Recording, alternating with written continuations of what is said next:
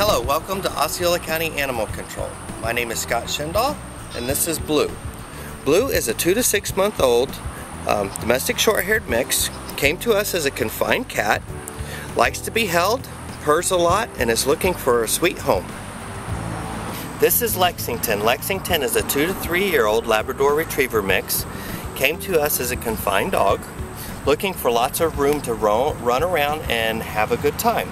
If you're interested in Lexington, Bleu, or any of the other animals we have at Osceola County Animal Control, please come by and see us. We will be closed, however, on the 11th and 12th of this week, but we'll be open at 9 o'clock Saturday morning on the 13th.